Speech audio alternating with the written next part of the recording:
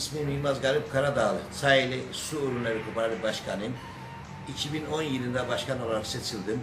Ve seçimlerde söz vermiştim eee, hizmet edeceğim diye. Hizmetimin de karşılığında Taşana Balıkçı Barınağı'nda e, kayıkhanelerin yapımı ile ilgili, çekek yerleriyle ilgili, e, riklimleriyle ilgili hepsini e, söz vermiş olduğum sözü tuttum, yaptım.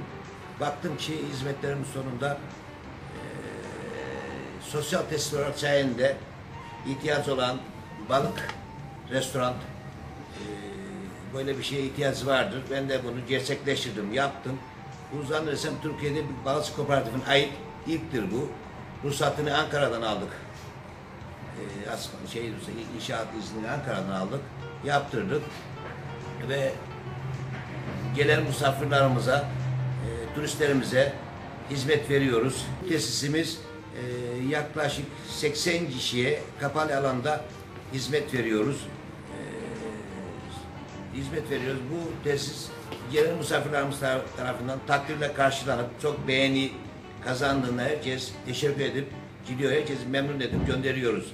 E, fiyatlarımız uygundur. E, kooperatif, geliri gideri bunun kooperatife aittir. E, bahçemiz dışarıda bahçemiz olacak. Liman e, mendiren üzerinde de açık alanda yine oturma yeri. E, denizin kenarında tekrar yine oturma yeri yapıyoruz. E, gene misafirlerimizi ağırlayalım.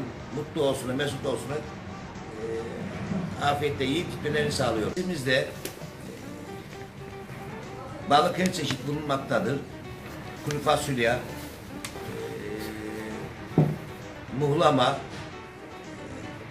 melemen, e, et sote bunları yapıyoruz.